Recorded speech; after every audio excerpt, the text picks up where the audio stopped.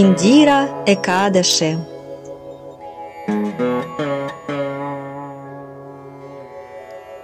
Махарадж Юдхиштхира обратился к Шри Кришне.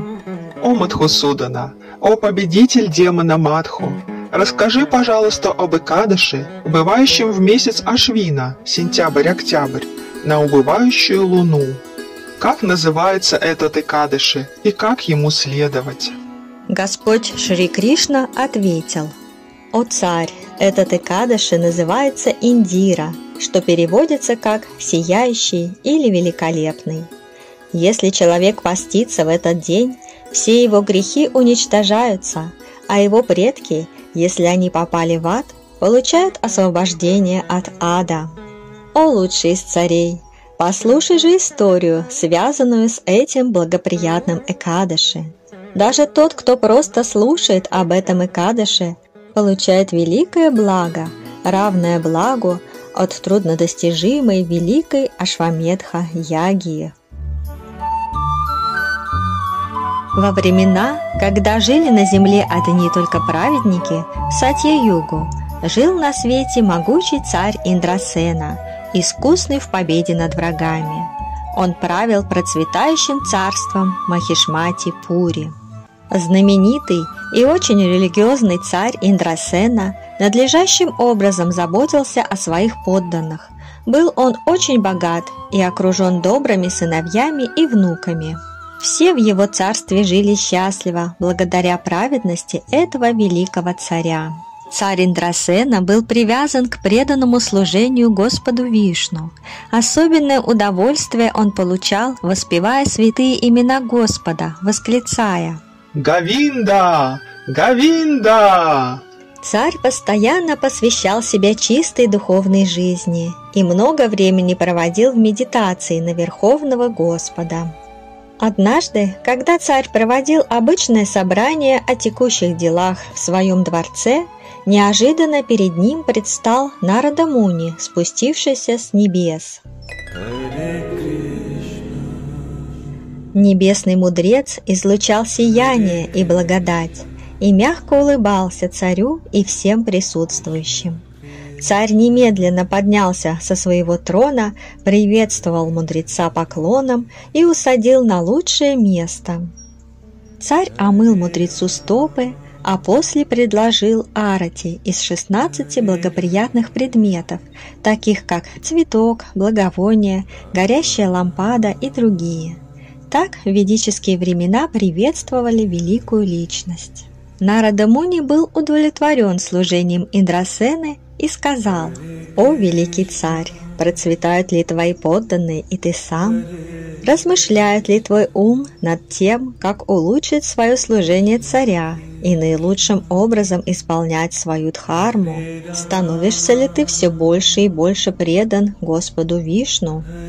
Царь ответил, Твоей милостью, о величайший из мудрецов, в моем царстве все хорошо и благоприятно. Сегодня как раз к твоему приходу удачно совершены все жертвоприношения в моем царстве. И сегодня моя жизнь увенчалась успехом, ведь я получил даршану с тобой, увидел тебя. Пожалуйста, сделай милость, открой причину твоего прихода сюда». Тогда Шринарада, мудрец среди полубогов, сказал, «О знаменитый среди царей, услышь о чудесном происшествии, которое случилось со мной. Как ты знаешь, я путешествую по всей вселенной с целью проповеди и служения моему Господу». Однажды из обители Господа Брахмы я отправился вниз, в обитель Ямараджа – Ямарадж живет там, где расположен ад. Но та часть планеты, где живет он и праведные предки, подобна цветущему райскому саду. Там нет никаких страданий. Я пришел во дворец Ямараджа, владыки справедливости и смерти, наказующего грешников. Ямарадж сердечно меня приветствовал и предложил великолепное сидение – я прославил великого Ямараджа, который несет столь сложный пост во Вселенной, определяет меру наказания и поощрения каждой душе, прожившей жизнь. И вот, по милости Господа, я заметил в собрании Ямараджа твоего отца. В том собрании находились только праведные души предков, и твой отец был очень благочестив и религиозен. Но однажды, совершая пост на Икадыше, он случайно прервал пост раньше положенного времени и за это попал на Ямалоку. «О царь, твой отец передал послание для тебя. Он сказал, в Махишмате-Пури живет царь по имени Индрасена, он мой сын. Пожалуйста, расскажи ему, что я нахожусь здесь, на планете предков Ямалоки. Из-за каких-то своих прошлых греховных поступков я теперь вынужден жить в царстве Ямараджи. Скажи моему сыну от меня так. О сын, соблюдай индиры и кадыши и раздавай много милостыни, так ты сможешь освободить меня от греха, и я смогу подняться на небо». Нарада Муни продолжал. «О царь, выслушав эти слова твоего отца, я тут же отправился к тебе. Тебе следует помочь отцу соблюдением поста в Индире и Кадыше, ибо живущие в аду и на планете предков не имеют возможности помочь себе сами. Это твой долг, как сына». Царь Индрасена спросил. «О, великий Нарададжи, пожалуйста, будь милостив и расскажи мне, как соблюдать пост в Индира Экадаши». Нарада Муни ответил. «О царь, послушай меня внимательно. В Дашами, в день перед Экадыши, встань рано утром, прими омовение, а затем сделай для Бога что-нибудь с полной верой – Например, пропой экстатичный киртан и предложи цветы божеству. В полдень снова омойся в проточной воде и предложи подношение своим предкам. Не надо есть больше одного раза в день, а ночью спи на полу. Когда ты проснешься рано утром в Икадыше, тщательно вычисти рот и зубы, прими омовение и одень чистую одежду. Подойди к алтарю и с глубокой преданностью дай Господу следующий святой обет.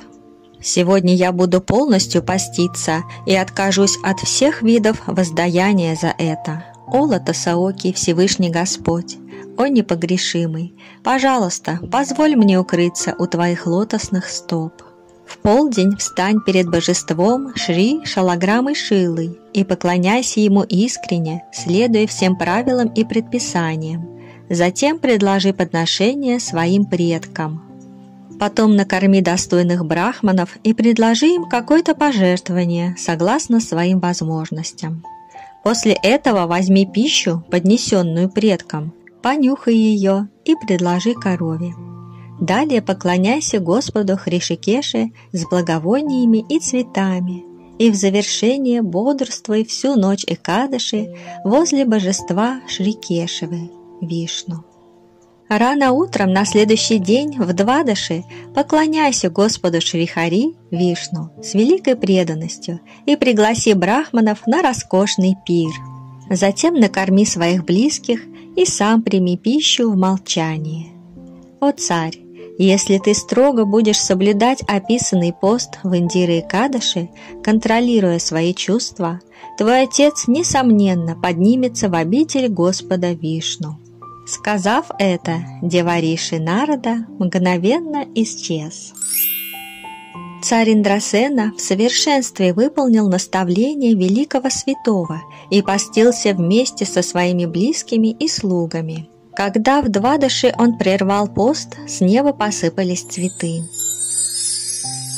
Благо, обретенное Индрасеной, благодаря соблюдению Кадыши, получил его отец, находящийся в царстве Ямараджи, который таким образом обрел полностью духовное тело. Индрасена увидел его поднимающимся на спине Горуды в обитель Господа Хари. Сам Индрасена без помех правил своим царством, а когда пришло время, передал царство сыну и тоже отправился на Вайкунтху. «О, Юдхиштхира!» — сказал Кришна. «Такова слава Индиры и Кадыши, темной половины месяца Ашвина». Каждый слушающий или читающий это повествование без сомнения насладится жизнью в этом мире – освободится от всех прошлых грехов, а после смерти вернется домой, обратно к Богу, где будет жить вечно. Об Индире Кадаше рассказано в Брахма Вайварта Пуране. Дорогие друзья, кратко расскажу о правилах соблюдения Кадыши. Собрав все вопросы в комментариях к видео и к статьям об Икадыше, попытаюсь на них ответить с помощью текстов Пуран. Пуран – это ведические священные тексты, в которых описаны все Экадыши. Экадыши переводится как 11. Это ведический пост на 11 день растущей и на 11 день убывающей луны. Соблюдается по лунному календарю два раза в месяц. Этот день благоприятен для поста, приносит очищение кармы, убирает болезни, дает исполнение желаний и милость Бога. В Экадыше не едят зернобобовые и не вегетарианские продукты. Пост происходит от восхода солнца на 11 лунный день до восхода солнца в 12 лунный день. Иногда пост на Экадыше переносится на 12 лунный день, на Двадыши, из-за определенных правил расчета поста на Экадыши. Точный день поста для своего города можно посмотреть в лунном ведическом или вайшнавском календаре на сайте или в приложении. Главное правило в не есть зернобобовые продукты и не вегетарианские продукты. Это минимальный уровень поста в. Второй уровень поста – это пост, описанный в Махабхарате. Вода, фрукт, корень, молоко, масло ги, совет брахмана, слова духовного учителя и лекарства – эти восемь вещей не прерывают поста обета. Именно так постился Шила Прабхупада и учил этому своих учеников. В дни Кадыши мы отказываемся от пищи, даже не пьем воду. Однако в нашем обществе мы не соблюдаем настолько строгие правила. Мы говорим, в Икадыше не следует употреблять в пищу зерновые. Можно съесть немного фруктов, выпить молока. Это тапасия. Полные кадыши – это сухой пост и ночное бдение в ночь с Икадыши на Двадыши. Соблюдение такого поста приносит полный плод Икадыши. Соблюсти его довольно сложно, так как дневной сон в Икадыше и Двадыше тоже запрещен. Но даже частично соблюденные Икадыши приносят большие плоды, особенно если соблюдать его регулярно по силам. Каждый Икадыши приносит очищение кармы, грехов, болезней, поэтому не обязательно направлять энергию аскезы на здоровье. Это произойдет само. Лучшим мотивом в соблюдении Кадыши будет порадовать Бога или духовного учителя соблюдением Кадыши. Результат такого поста – милость Господа. Подготовка к посту. Накануне Кадыши вечером не едят зернобобовые и не вегетарианскую пищу. Желудок должен быть чист от зерновых в Икадыше. Если у кого-то пища переваривается медленно, то день перед Икадышем можно уже провести без зернобобовых. Если собираетесь поститься на сухую, то можно попить не только вечером, но и утром до восхода солнца, так как пост начинается с восходом. До восхода в день Икадыши можно поесть фрукты или молочные продукты. День поста. Утром в Икадыше просыпаются до восхода солнца, чтобы, как зайдет солнце, вступить в пост и дать обед. Обед также можно дать заранее вечером. Обед дается перед домашним алтарем или священной книгой, или с памятованием о Господе в сердце своими словами, а также можно зачитать обед из Пуран. В Хари Бхакти приводится мантра, которую произносит утром, чтобы начать Икадыши врату. «О непогрешимый Лотосаоки Господь, я проведу Икадыши без пищи, а на следующий день прерву пост. Будь же мне прибежищем, о Ачьюта, и не дай моему обету пройти впустую». Если вы будете что-то вкушать в Экадыше, то можно сказать «буду поститься без зернобобовых». Экадыши – это не только пищевой пост, есть определенные ограничения на обычную деятельность в этот день. А есть деятельность, приносящая особые заслуги и блага. В Экадыше избегают спорта, массажа, дневного и ночного сна, интимной близости, тяжелой работы, украшения тела и изысканных нарядов, изысканных блюд, посещения общественных мест, праздных разговоров, мирских фильмов и передач. В Икадыше благоприятно чтение духовных книг, воспевание мантр, медитация, киртан, служение Богу, очень простая еда при необходимости, прогулки на природе, посещение храма, духовные лекции, духовные фильмы. Вот в этом тексте передается настроение, с каким Икадыши. В Икадыши, воздерживаясь от дневного сна, не принимая ни воды, ни пищи, надлежит всю ночь радостно воспевать славу Господу и играть на музыкальных инструментах, чтобы доставить ему удовольствие. В Хавише Уттара Пурана. Преданные Кришны в дни Икадыши стараются больше повторять кругов Махамантры Хари Кришна для удовольствия Господа и духовного продвижения. Священных писаниях Экадыши называют древом, исполняющим желания. С помощью поста в Икадыши можно исполнить свои желания, можно энергию аскезы направить на какой-то проект, на излечение от болезни, на помощь другому человеку. Тот, кто соблюдает пост ради блага кого-то, автоматически получает благо и себе, поэтому поститься за кого-то лучше. В Хари Бхакти Виласе написано «Тот, ради кого постятся, обретает полное благо». Постясь на благо своего мужа, жена получает в сто раз большее благо, чем постясь ради себя. Ее муж также получит благо от следования посту. Ночь в Икадыши. Полный Икадыши – это не только сухой пост, но и отсутствие сна днем в Икадыши и ночью с Икадыши на Двадыши, то есть в ночь на 12 лунный день. В Индии в храмах люди собираются на ночное воспевание святых имен Бога и поют так вместе до утра, помогая друг другу выдержать эту сложную аскезу. Услышав сладкие песни преданного в ночи Кадыши, Господь Нарайна, супруг Лакшми, становится так доволен, что дарит ему больше богатств, чем владеет Индра, царь Рая, в течение ста правлений Ману. Но если сложно бодрствовать всю ночь, можно провести в бдении часть ночи. Ночь – это время от захода солнца до восхода. Это время нужно разделить на три части и бодрствовать хотя бы одну треть ночи. Например, зимой в России это нетрудно, так как солнце садится рано. Но если ночь в Икадыше это слишком сложно, то можно просто мысленно прославить эту святую ночь. Выход из Икадыши. Утром после восхода солнца на следующий день после Икадыши нужно завершить пост. Пуранах описывается, что для завершения поста в благоприятное время Экадыши Парану, которое обычно длится 2-2,5 часа после восхода солнца, но бывает и по-другому, это время всегда указывается в календарях Экадыши. В это время нужно сделать пожертвование, накормить свою семью и поесть самому. Заранее нужно подготовить освященную воду и кусочек освященной зерновой пищи, чтобы выйти из поста и дать эту пищу близким.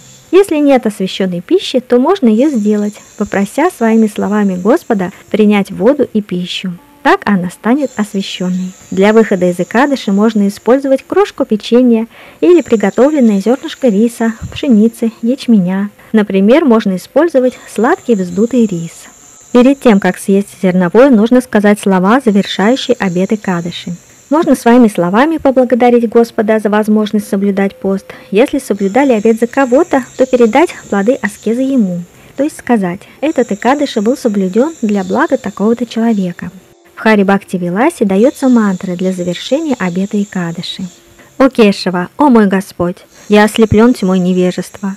Милостливо будь доволен моим обетом и милостливо взгляни на меня».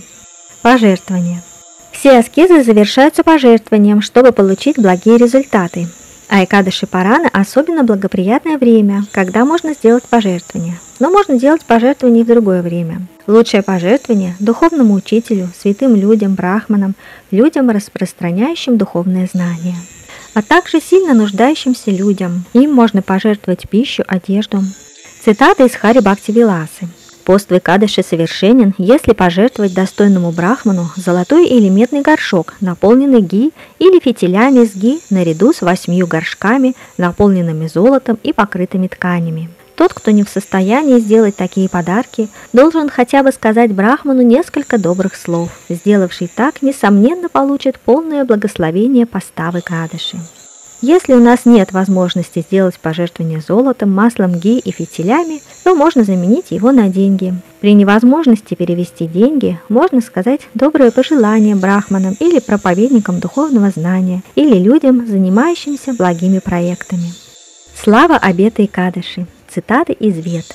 Ямарадж, бог смерти, сказал – я не могу наказывать тех, чей сын или внук совершает пост на Икадыши. В действительности я боюсь такого человека, поскольку такие великие души освобождают сто поколений своей семьи. Падма Пурана. Те, кто соблюдает обеты Кадыши, прославлены повсюду. Они не боятся никакой болезни или беспокойств, связанных с разбойниками. Амрита Сарадхара. Экадыши очень дорог Верховному Господу и дарует высшее благочестие. Тот, кто постится на Экадыши и затем с верой поклоняется Господу Кришне в Двадыши и достигнет чистого преданного служения Богу. Вайшнава Тантра Дорогие друзья, сердечно благодарю вас, что смотрите видео об Икадыше и ведические истории. Мне очень нравится рисовать и рассказывать для вас об Икадыше, и надеюсь приносить этим небольшую пользу. Желаю вам прекрасного Икадыша. Благодарю вас за комментарии и вопросы в комментариях. Так я понимаю, что еще можно улучшить в своем служении. Благодарю вас за пожертвование и за подписку на канал. Это очень вдохновляет. Всех вам благ и благословений Господа и лучших реализаций от следований и кадыши. До новых встреч, дорогие друзья!